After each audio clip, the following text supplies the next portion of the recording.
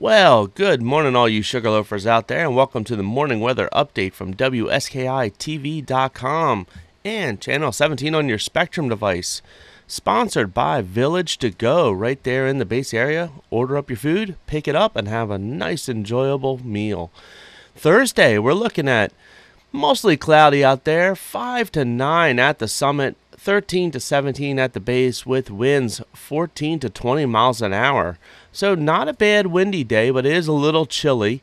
Friday, we're looking at um mostly cloudy, turning to possibly one inch of snow. So that'll be great. We're looking at summit temperatures around 14 to 18, base temperatures 24 to 28, and winds 15 to 25 miles an hour. On Saturday, partly sunny, 22 degrees at the base, 14 at the summit. On Sunday, 30, 13 at the base, negative 2 at the summit, and Monday, 17 at the base, 7 at the summit. So, yes, it is going to be quite chilly out there on the hill.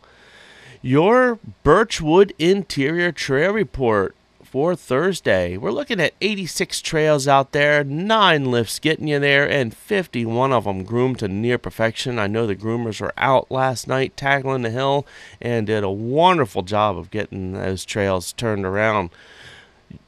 For Central Mountain, you're looking at Timberline, Bridle Chain, Tote Road, Spur Line, Haywire, uh, Hayburner, Kings Landing, Competition Hill, Narrow Gauge, Spillway, Sluice, Gondola Line, White Nitro, Wedge, Haywire, Side, Lower Winter Way, Landings, Birches, and Snowbrook. On the east side, you're looking at Hallback, Flume, Widowmaker, Ramdown, Two Hall, Whiffletree, Slasher, Rollaway.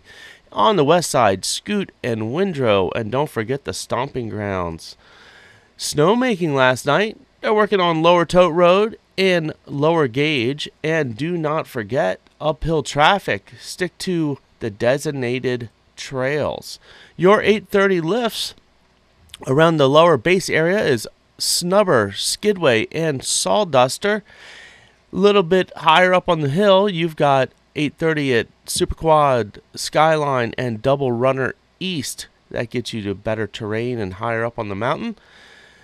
9 o'clock is King Pine, more advanced terrain over there, and Whiffletree, a little lower, and that's a little easier mixed terrain.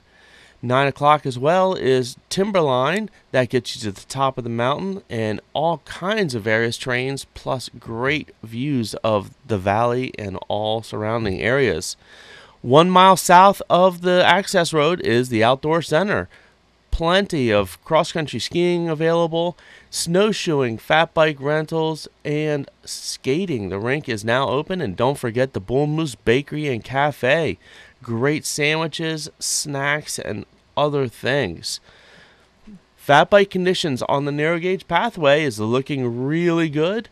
And if you're walking a dog, please don't forget to pick up the poop and be aware of silent fat bike riders.